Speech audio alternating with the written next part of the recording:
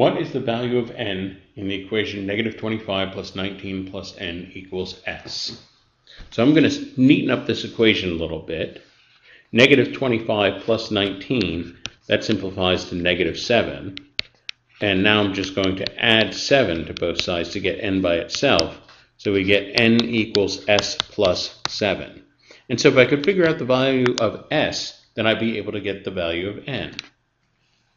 So statement number one tells us s equals 2. Well, if I know s, I can find n. So statement number one by itself is sufficient. Now forget about statement number one. Let's move to statement number two. Statement number two gives us this odd fraction information, n over s equals 4. Well, notice if I multiply both sides by s, what I get is n equals 4s. And this is an equation that relates n and s. This here is another equation that relates n and s. And if I have two unknowns and two equations, I'm able to solve that for the value of the variables. So I don't actually have to go through that solution. It's enough to know that because I have two unknowns and two equations, I could solve for the values. And so this statement is also sufficient. Both statements are sufficient, and the answer is D.